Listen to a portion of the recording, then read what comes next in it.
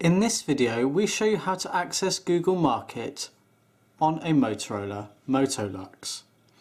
With the device switched on, either click the shortcut that may be on the home screen or navigate to the Applications menu and find the Market icon. Click the icon. You will need a 3G or Wi-Fi connection to access this if it's the first time you have accessed it, you will get this message. Click Accept. This video assumes you have added a Google account to your device as you will need an active Google account to access the marketplace. Once in, you can then navigate through the market by scrolling up or down for some of the featured applications you can click on certain icons such as games. You can then go back using your back button. You can also search using the search key and typing in what you're looking for. For demonstration purposes, we will click into Games.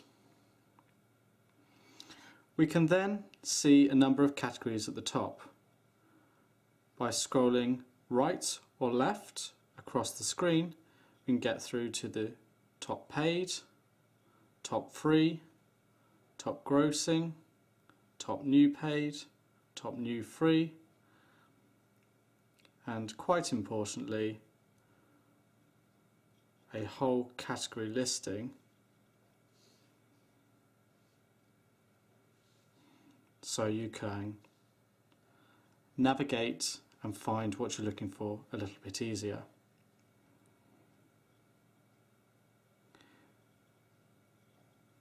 You can pay for them through here, but there are thousands that are free. Once you've chosen the app you want, select it. It will bring up information about the application. You can read more and see videos and reviews. When happy, click download. It will tell you what access the application needs on your device and again if happy click accept and download. We'll now begin downloading. You'll get a status bar to show you how the download process is going. At any time you can click the X to cancel. You can share the app or you can go back and navigate whilst it is still downloading. So here I've gone back to the menu We'll also have an icon in the bar at the top of the phone. As this is now completed downloading, you can see that it is changing in the top, saying it is installing.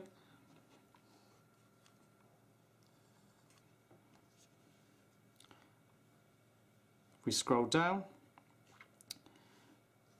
for the notifications bar and we can see that the application Angry Birds has successfully installed. We can now click to access the application or if we were at the home screen